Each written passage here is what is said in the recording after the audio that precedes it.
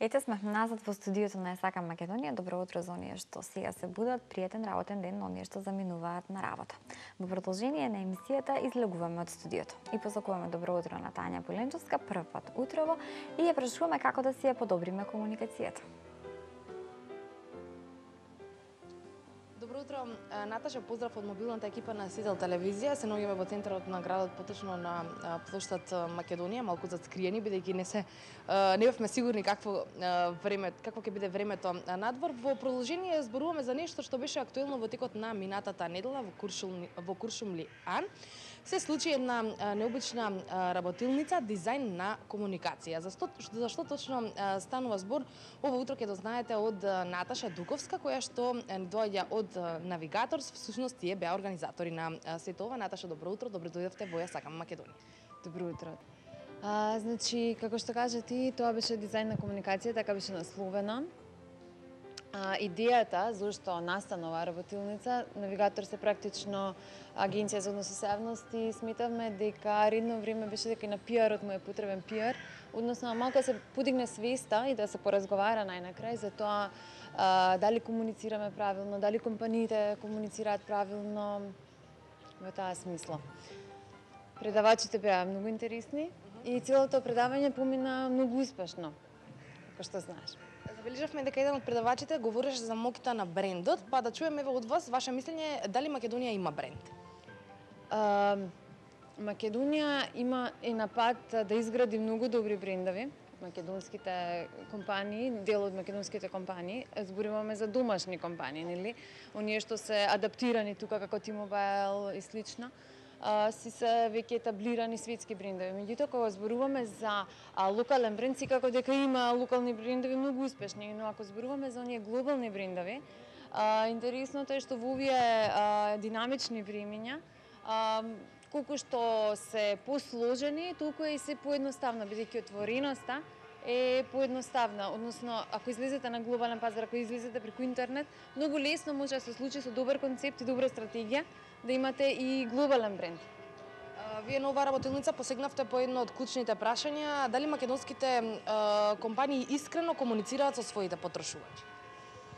А, значи, можеме да кажеме дека потрошувачот, односно оној реципиент на пораката која што се бара како потрошувач, како целна група, нели?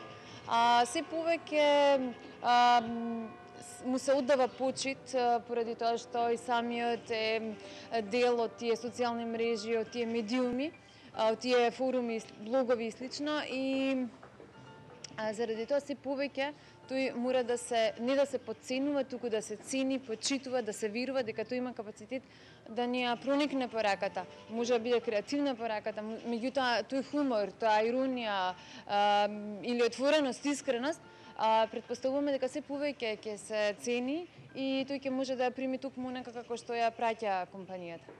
Дали се македонските компании обштествено одговорни? А, значи тоа е една политика која што се вградува практично во, во онаа глобална стратегија нели на една компанија а, како ќе бидеме одговорни, што ни е битно, зошто токму тоа да го поддржуваме. А, сакам да кажам дека тоа прилично стратешки се работи и се вкор... треба да се втемели во нивните а, во нивните постулати, во нивната мисија. Значи, а, не е тоа нешто инцидентно да не се случи да го поддржиме ова, туку се прави една стратегија за сето тоа да има многу повеќе смисла. Така да особено големите компании веќе градат таква политика и евидентно е дека поддржуваат добри работи. И има успех. Каде потекна идејата ваша за една ваква работилница? Дали може би планирате следно вакво предавање? Во на самата работилница се потигна многу прашања, цензурата, потоа колку потрошувачите се спремни да ја слушнат искрената комуникација, зошто и веруваат, зошто не и веруваат. А, така што имаше многу теми кои што стана на када лепдат, остана не, не до крај отворени а, и секако дека ви сакале да имаме уште минимум серијал од вакви работилници.